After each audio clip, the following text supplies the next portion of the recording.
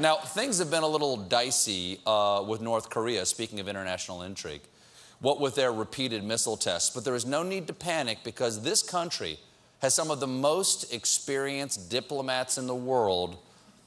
Also, we have Dennis Rodman, who flew into North Korea again today. So, this is basketball diplomacy. Is it on behalf of President Trump?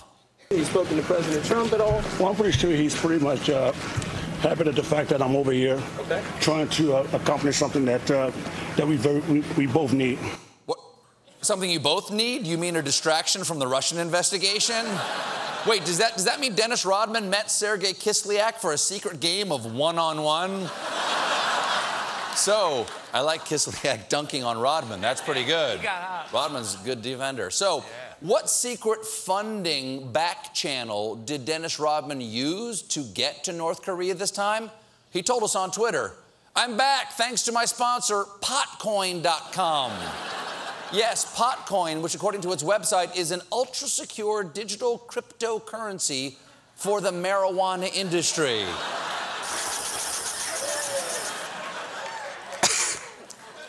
Dude, what if there was an imaginary money we could use to buy weed? Also,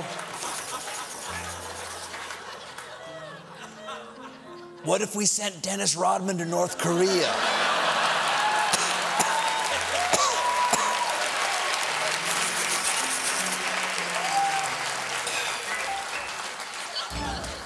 Of course, don't touch that now. Of course, this is not the first time a diplomatic mission had a private sponsorship. And who can forget World War II's Yalta Conference, brought to you by Little Zippy's Cocaine Buzz Tonic. Little Zippies, it's a blitzkrieg on your brain.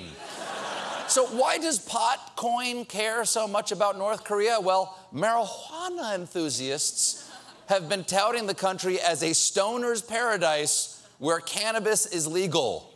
A stoner's paradise? Really? You might be able to get high there, but good luck when you get the munchies. I hope you like bark.